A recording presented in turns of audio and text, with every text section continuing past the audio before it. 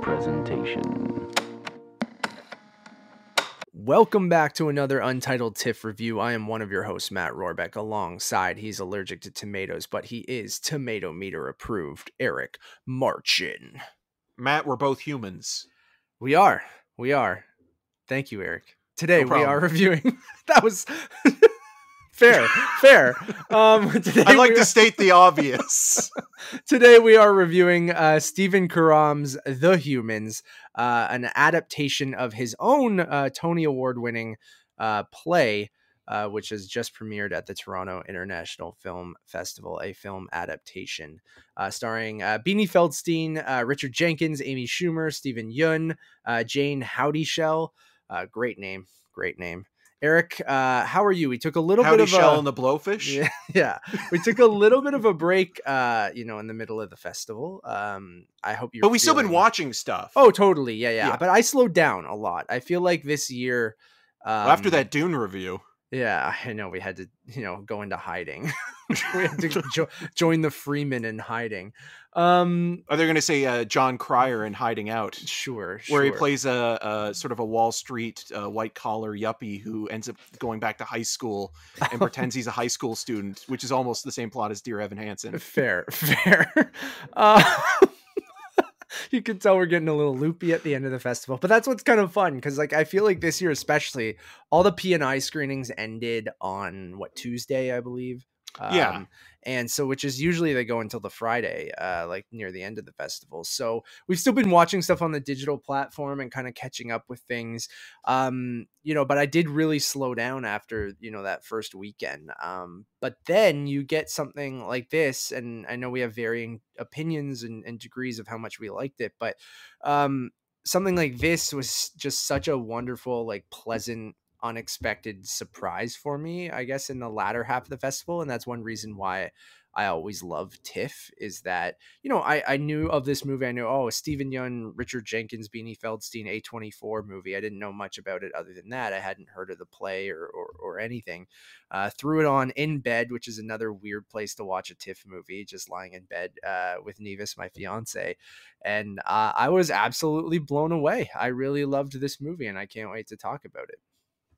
Yeah, I I had an interesting experience watching this. Oh, right, you can get into because that, too. I I watched this at like 3 a.m. and this You've had a night- weird sleep schedule the latter half of the festival. Yeah, I don't even know half the time if I'm actually sleeping or if I'm just kind of like paused.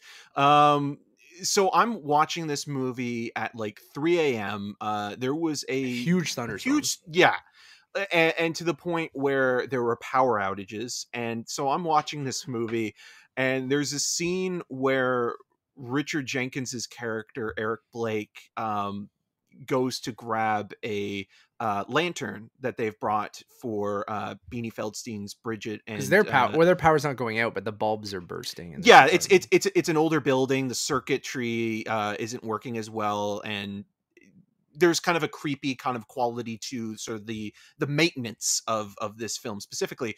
So, anyways, the power goes out, and Jenkins is holding this this lantern, and that's when the power went out uh, in in the house uh, in my house, and I was thinking to myself, 4DX, is- baby. I know this, this this is like some sort of weird like for as you mentioned 4DX experience uh you know just enhanced by it all and um also the other thing is it wasn't like I could just tether my um uh you know Oh, they don't let you watch unless you're on Wi-Fi, right? right. So you know what the saving grace was? I woke up at 6 a.m and and the Wi-Fi was still not working but the Wi-Fi was working at Tim Hortons which is just literally Could you down- get it from your house, or did you go to Tim Hortons to watch No, it? no, no. It was I was Oh. working from my house. I'm like, that's So incredible. If you went and sat in a Tim Hortons to Oh, no, watch the I- rest of this movie, I mean, I They, would, they, they weren't even open. No, they're not open to uh, uh, the public. It's just literally drive through. Oh, right. Um, so thanks to Tim Hortons' Wi-Fi, I was able to sponsor, not a see the rest of the film. But I did like that weird kind of meta experience. Oh, it yeah. kind of reminded me of of seeing um Jean-Luc Godard's Goodbye to Language at the Lightbox, and about halfway through the film, Someone just punched you right in the face. no, no, no. It it literally stopped, right. and the power went out and everybody at first thought it was a part of the movie so we're just sitting there waiting Mhm. and then like 10 minutes later uh, you know someone who works there comes in and is like oh we're we're you know the projector crashed and we're getting it back up uh, just this isn't a part of the film and everybody just started laughing. Yeah. so i think you know that that's the tiff experience of this year for me is is watching the humans at 3 a.m you know and then the power goes out at, a- at a key scene where the characters also experience a power outage. But essentially what you have here as you mentioned is a stage to screen adaptation that takes place on thanksgiving and sort of the interpersonal dynamics of this family all of which are going through their own sort of personal anxiety and stresses. We see richard jenkins uh prominently throughout this film kind of looking at the infrastructure of this old building that's in chinatown in new york and seeing sort of almost like almost this again I, hate using this word as a descriptor because it just kind of feels you know very commonplace and we use it a lot during t10 but it almost has a cronenbergian-esque kind of Yeah. quality to it or even roman polanski's the tenant where uh, roman polanski at one point digs into the wall of his apartment building and finds sort of a bag of teeth Yeah, uh, it's like. Alien almost, right? Like yeah, yeah, like it, it does have an hr giger kind of sort of um organic quality like it feels like it's going to start breathing or something yes, yeah, um but it also is very much it's not a horror movie but it is horror adjacent where there are some fun little jump scares and you know what and- it reminded me of last year was um uh Shiva Baby. Yeah it, it like does that. have that anxiety and the stress the horrors of being not only human but the horrors anxious. of spending time with family yeah, and too. sort of seeing you know sides of your family that you wouldn't otherwise and realize maybe you know you're not so far off or that you know maybe you're in better standing than you thought you were compared to somebody else Mhm. who you think has you know it more together as as this story progresses we find out that you know certain characters are going through um, varying degrees of you know uh stress whether it be financially whether it be medically um you know it it kind of all sort of accumulates to this one sort of big moment uh, during Thanksgiving before the said power goes out. But um, what I like the most about it is the performances and Mhm. just I look at someone like Richard Jenkins and I think that he reminded me one of your dad a little bit, uh, especially Dude, with the will drinking get, of the coke. I, I will get into this movie and how much Eric. It blew my mind of how much I saw my family and myself in this movie. It is literally the Rorabecks the movie, other than you know certain things. well, Nevis would be. Steven Yeun in Um, this case. yeah, but even then, if you switch Steven Yeun and, and Beanie Feldstein, and I, I, because even Steven Yeun's character has a lot of similarities to what I you're am always going making in my- in my early 30s and, and and stuff like that and and you know Beanie Feldstein being in the arts world and Nevis is in the arts world and and Richard Jenkins just literally reminding me of my dad and then Jayne Houdyshell literally reminding me of my mom throughout the entire thing and then having Amy Schumer be like kind of what my sister too and uh, it Eric it blew my fucking mind watching this going how how much I saw myself and my family in this movie and I'll get into that's a reason I think I have such a strong connection to it and that why I really loved it. yeah, I, I thought of that. As I mean, I'm sure there are a lot of especially with families, but with the coke thing though specifically where, where like jenkins asked for the him walking well. around and just the way his mannerisms were and the way he was speaking was just like very much my dad and just being like reserved but also will chime in and give his opinion on things and like uh, and stuff like that and yeah the the bottle of coke and i mean my dad doesn't doesn't really drink so maybe the the beer that he's Right. consuming in the movie too but like yeah and, and your dad's also perfect, a, but- a much nicer guy than than eric even though eric's But not a bad then- person but, but, I think every family can, you know, you've only seen my dad in certain situations, right? Right. Like I, I saw very much my everybody has their and- their good and bad Yeah, side or, and I think or when you're- and yeah. when you're just with family, that stuff will come out, right? And just how like comfortable they were with one another, but like and just how casual this whole thing was is very much the vibe of my family.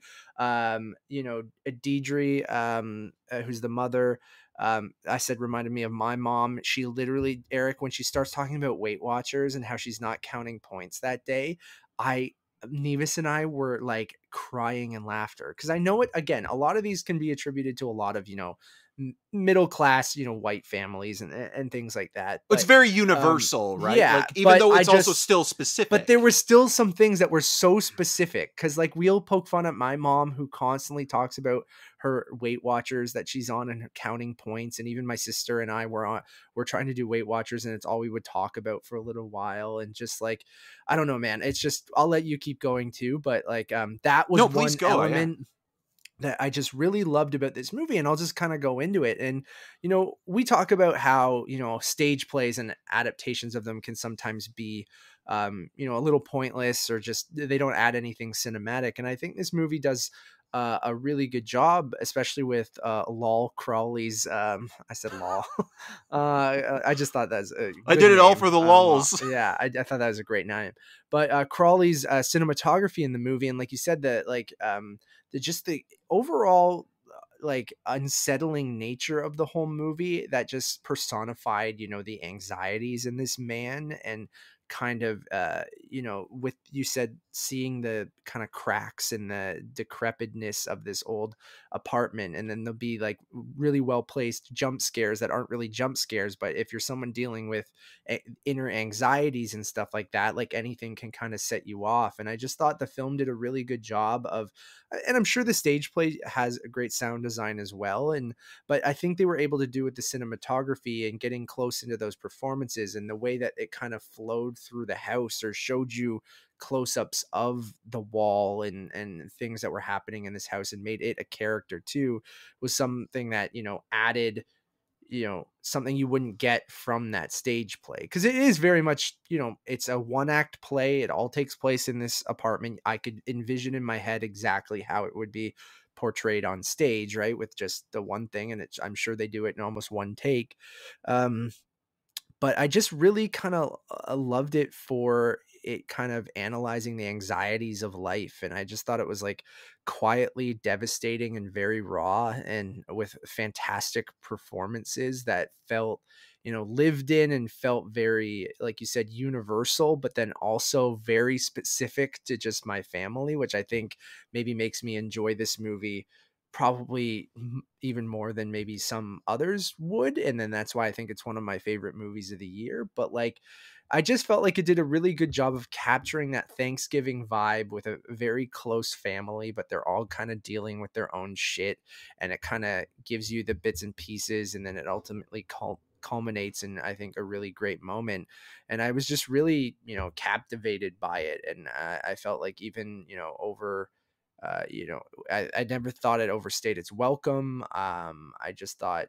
everyone in the movie was fantastic. Uh, I loved the look of it, the sound design, the score, um, everything. I, I just absolutely loved.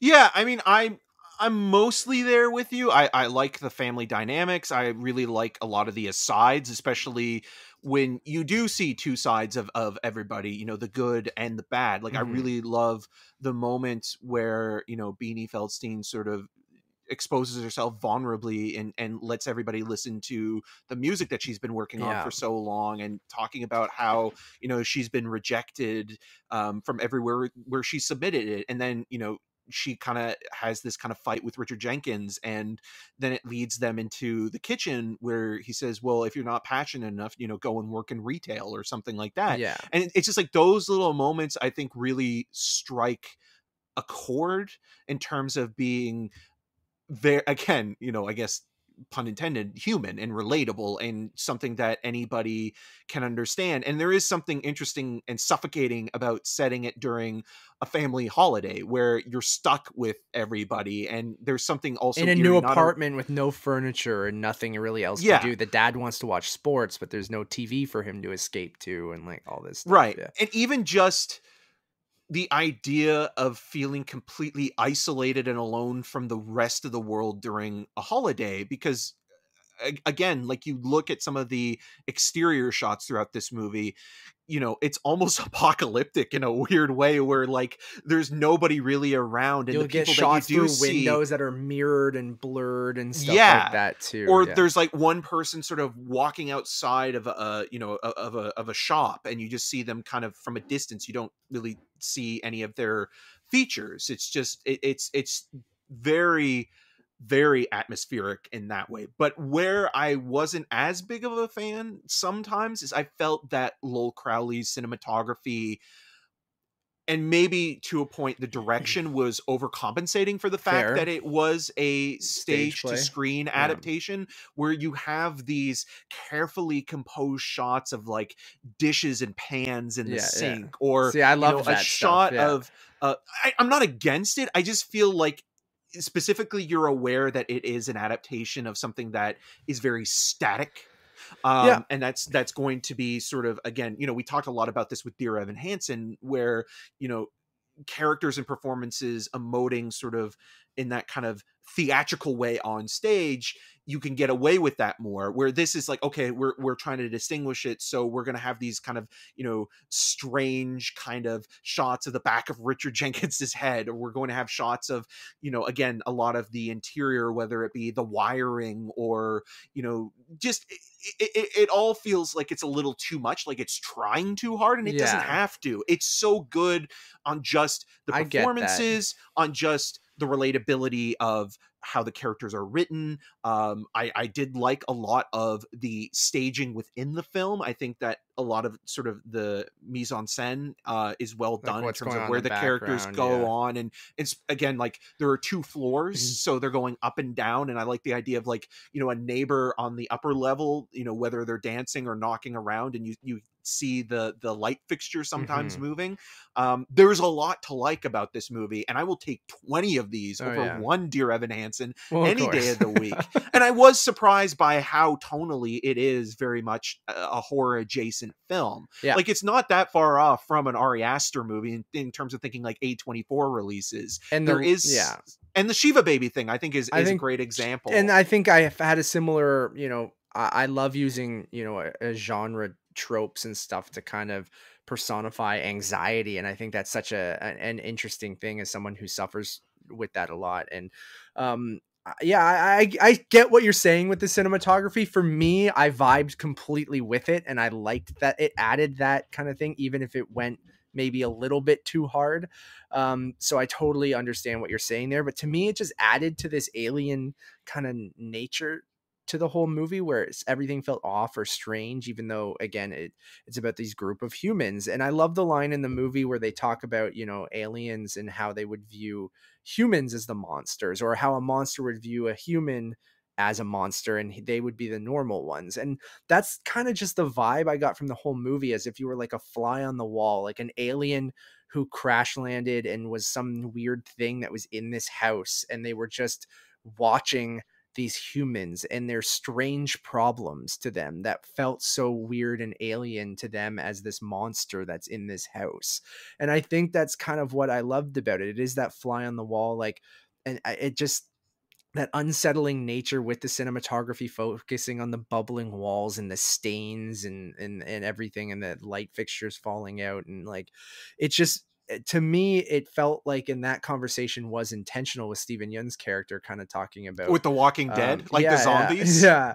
And I just felt like that was so interesting. And then that's kind of what I got from this movie. And and you could say, like, oh, was it all in their heads? Was it all just his anxiety personified? Or is there this kind of presence watching over them in this thing and like kind of you know, everyone's got their own shit going on, and it's just this. but that dream that Richard. Jenkins Yeah. talks about, it's almost like that thing sort of manifests itself in in some sort of strange way and and almost haunts you know this family as as the night progresses or at least and just then the maybe that idea of it Yeah, and you could take that in different ways. It's like they're all dealing with really crappy things happening. Like, and you could uh, like again, they could just be you know uh, normal problems people suffer with, or is it something else? And um, yeah, that dream he talks about, and and they poke fun at him at that, but then like you know, Steven Yeun's always talking about his Oh, dreams. God, his grass ice cream cone and stuff like that. He's so mundane, and it's just he's phenomenal. I love him, and everyone in this movie. I think it's the best I've ever seen. Amy Schumer,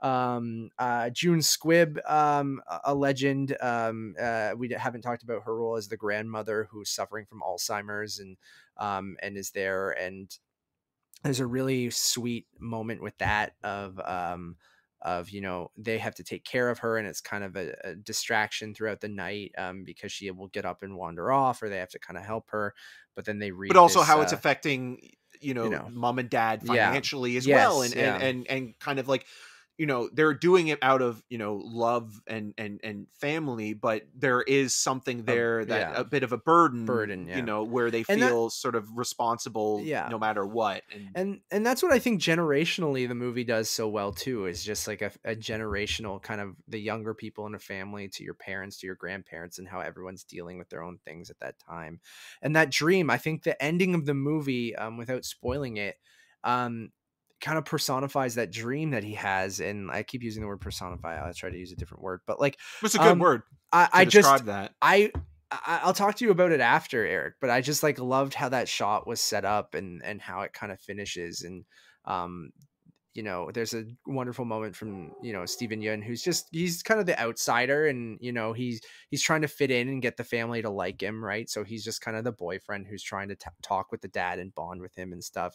So when the dad Richard Jenkins talks about makes a this list dream- of superfoods. Yeah yeah. And he's I just like i just love the line of like you should just walk into the tunnel right? Like that line Right. of this dream where and then he's like what do you mean? He's like just walk into the tunnel and see what happens and he's trying to tell him what to do in this dream and then it kind of comes full circle in the ending and i thought it was just um just wonderful and like um yeah man it just it, kind of blew me away and became one of my favorite films of the festival. I don't think it overtook petite maman but um you know these familial dramas will always um always get to me especially when i can connect with them so deeply where i truly going back to it just felt like it was my family. Like when it was literally five people you have um the two males like the dad and and the boyfriend in this which i kind of swap it around a little bit and then you know the two daughters which almost is like Nevis and Sarah and then the the mom and dad who just reminded me so much of like my mom and dad and um it just and then when you get deeper into the problems that everyone's suffering through i just uh, connected with steven yeun talking about you know how he's in his mid 30s and that he's going back to school to become a social worker because he suffered from um, some depression in his early 30s and kind of needed to get away from the career he was in and needed to go into something else. And i'm like it just like there this movie uh, felt like it was almost made for me. And i think whenever you get a movie that feels like it, you just connect on that level where you're like it almost feels like someone's like matt this is i'm writing this for you or i'm making this for you um and that's just kind of how i felt and then when you add in the layers of like i really did dig the cinematography i like the unsettling nature of the whole thing i like putting that horror vibe even onto this thing that has some deeper meanings of like you know it's not really you know it's scary because everyone suffers but like it's it it's just it's really kind of wonderful as well though of just kind of this deeply kind of uh quietly devastating um kind of movie just about life and and family and um i just really really really liked it so. Yeah, it's probably one of the best Thanksgiving movies um, I've ever seen, and there's a great sort of you know moment of being thankful, and there's a lot of stuff that we haven't talked about, whether it be you know sort of uh, the the backgrounds of the mom and dad being sort of more versed or or sort of looking to absolve um, certain anxieties through religion, yeah um, and then which there's is also the one thing I maybe I mean sorry to cut you off Eric but No, no, to, no, to go good. into that point thank you for bringing that up um yeah the dad works at a, Catholic uh, school and and the mom is is sort of religious as well and um I have that from my grandmother but my dad and and my mom still you know but the grandmother as well as you learn is also a reason why you know jenkins and and and jane uh um uh houdyshell are are like that they're Yeah. you know like they're they're they're of that generation where you see beanie feldstein and and amy schumer kind of you know they go along with it to a certain degree but at the same time like our generation you know religion doesn't factor in as much. and much I then- connected with that even yeah like Nevis and then- thought it was so creepy when I started saying the blessing that they say before dinner Right. like I started saying it along with them and she's like this is terrifying don't ever do Yeah. that again and then oh, that was your own version of the humans there for a minute where it Mhm. built some atmosphere and tension Mhm. um but then there's also the stuff which i also kind of found interesting where you know 9-11 is discussed Oh, and yeah. how there is you know a moment of you know someone getting lucky and not having been in that building and by chance and sort of having been haunted by that for the red yes, you know great. the 20 Thank years after bringing that up as well. Yeah, you know and, I thought and that was always talking about as well. Like, yeah yeah. Um, I thought that was again adding into that anxiety and where that stems from, right? Or that a little bit of being overprotective or just being a little bit afraid of everything. And I totally connected with that as well. And it didn't feel like like too much or that you're like, oh, okay, like you're adding that into this. Like I completely bought into it. And I thought it's just not too heavy handed in the way that it's portrayed throughout the movie. It's brought up multiple times, but um, I thought it was done really, really well. Uh, yeah, thank yeah it's it's those up. hard it's hard not to bring something like that up especially when it's almost like you really dodged a bullet and you're kind of just thinking to yourself like you know that that could have been me and to live with that like i- i- it's going to be something that you think about probably for the rest of your life that i i really did luck out not ending up you know in the tower or in one of the towers Yeah, and that goes into his anxieties and even that dream he talks about. He, yeah, I think attributes that moment to you know he talks about seeing this uh, woman who has skin over her eyes and her mouth is one of the dreams that she, he's having, and which is also of- funny because then I watched "You Are Not My Mhm. Mother," which also has an image that's representative that's very similar to that, where Mhm. but it's based in sort of uh, classic Irish folklore and horror. But Mm-hmm. I felt like just- the the stuff in Last Night in Soho kind of looked like that as well. yeah, no, they do. It- It's interesting that kind of you know faceless or or skin face sort of creatures, um, or even I guess like the Slender Man, I guess in some ways are are sort of basically sort of infiltrating our our mindset more than than ever and sort of to have a faceless creature be you know the thing that we fear the most because we can't define what it is makes it all Yeah. the more scarier Yeah, I totally agree with that. Um, any final thoughts, Eric, before we uh, that you wanted to get out before we give our rating? Yeah again i i think everybody in this is is really good. You mentioned that amy schumer um you know very subtle performance uh and and and again someone that's at a crossroads uh with her life on multiple levels and you think like you know this this is a film that could easily be very very showy and give the actors kind of big moments and everybody's great and everybody has sort of great scenes but it never feels like okay we're giving you an oscar clip you know like it's it, it feels more lived Which is why this will go pretty much unnoticed. But yeah it's it's it's very subtle and and and sublime in in in many ways and um you know there's there's one shot as well that i keep thinking a lot of um that involves a tray of dessert and you know jane uh Houdyshell, um staring at it and how devastating and sad it is in that moment i thought was uh, really uh, very powerful and again you know you could have played that bigger or drawn more attention to it but it's just it's done in a manner that is both respectful to the character and to people sort of battling you know stress and anxiety through eating and then Mhm. also um it's just i think it says so much about the character and where she is in the moment and you know she's probably the maybe the least well known of of the cast she, is she a theater reprising actor. her role from the original show. Yeah. Yeah, and the last thing that she was in, which was um, she had a small role as as uh, the maid in um, Little Women, and uh, Oh, so yeah, it's it's it's a really good um, ensemble that you know it's you can tell that everybody is working together and you know being uh, completely selfless in sort of the performances and and sort of bouncing off that and also just having material to work with that you know allows them to deliver you know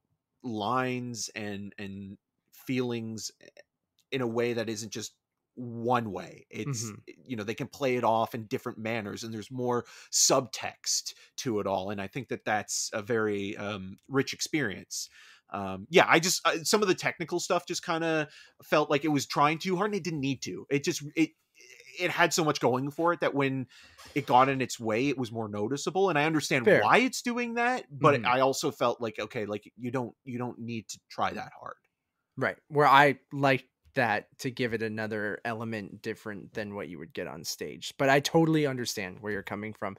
Uh, I love it. Uh, it's one of my favorite movies of the year. Uh, I think it's the second best thing I've seen at the festival. Um, personally, uh, it still did not overtake Petite Maman, which I just think is a both movies uh, are almost perfect to me. But I'm gonna give it a four and a half. I really loved it.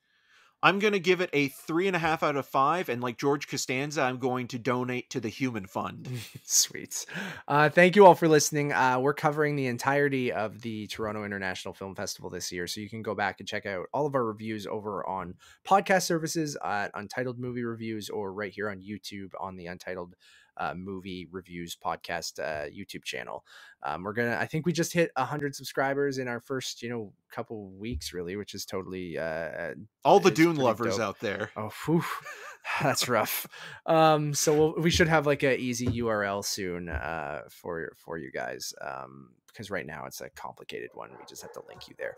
Um, you can check out all of our other stuff. Our, our, our best spot to get everything. Eric's dogs are losing it. Um, someone's you, doing the uh, uh, the lawn. Someone's cutting the oh, lawn. no, it's all why. good, dude. Don't worry about it. You know, we're we're cash here. Boris and um, George, um, what jerks.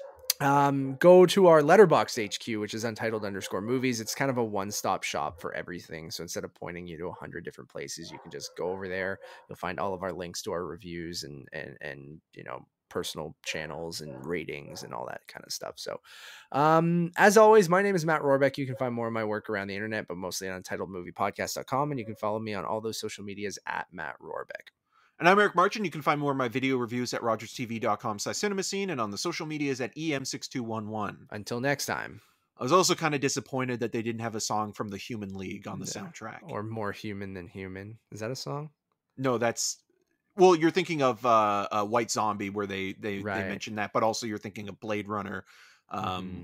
Yeah, the mm-hmm. the slogan that the Tyrell Corporation. Oh has. yeah. Okay. Cool. All right. Bye, everybody. Great movie. Stay human.